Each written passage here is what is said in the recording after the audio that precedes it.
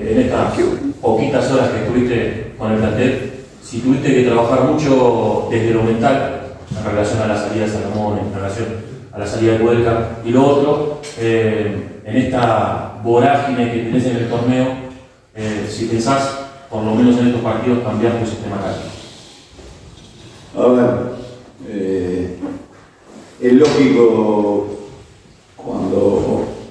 hay dos cambios de entrenadores en el corto plazo que, que, bueno, que algunos jugadores estén medianamente descolocados, pero lo hemos visto bien, eh, la verdad que es un buen grupo, así que han trabajado eh, al 100%, así que en línea general estamos bien y la otra era si pensás cambiar en estos partidos.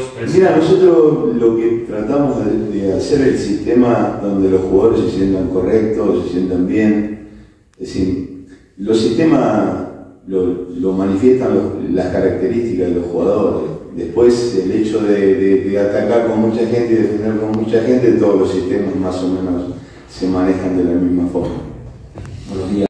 Para 11 contra 11, primero que nada, darte la bienvenida en relación con el Lanús y consultarte qué factor te llevó a decantarte para venir a un club tan grande como es Lanús.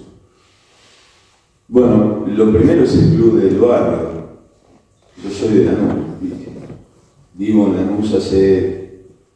Nací en Lanús, así que es el club del barrio, así que, bueno, no podía decir que no. Es un, es un elemento en el cual siempre uno ha pensado el hecho de, de poder dirigir Lanús, así que para mí es un privilegio dirigir el club donde donde representa el lugar donde vivo. ¿no? Ruso, ¿qué tal? Eh, queremos un poco, pero ¿por qué ahora sí? ¿Y, y cuál es el objetivo, sobre todo, de estos seis partidos? El Lanús viene de una montaña rusa eh, en cuanto a los puntos, la situación, eh, con el promedio, la clasificación a las copas. Se habló de un premio por clasificar a Libertadores. ¿Con qué objetivo tenés en el corto plazo?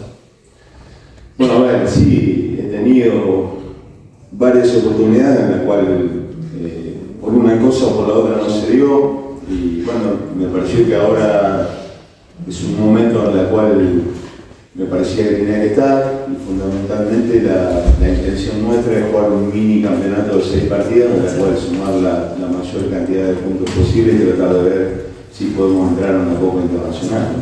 Ese, es el objetivo siempre que hemos tenido en los lugares donde hemos trabajado. Soy candidata para Lanús. Primero que nada, bienvenido en lo que se viene. Saber cómo viste ayer como primer entrenamiento con el equipo. Bien, bien. He encontrado una muy buena predisposición en los chicos, trabajan muy bien. he encontrado un grupo que, está muy bien, así que tienen muy buenos jugadores, así que creo que están dada la, situación como para que mejoremos en estos seis partidos y tratemos de terminar bien el campeonato. Es decir, mirando los números, en 14 partidos se ha ganado uno solo.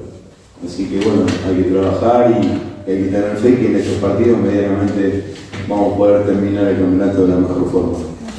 Partido. Eh, primero te quería preguntar, ¿en qué momento eh, te de la luz en tu carrera y qué sentís que le puedes aportar?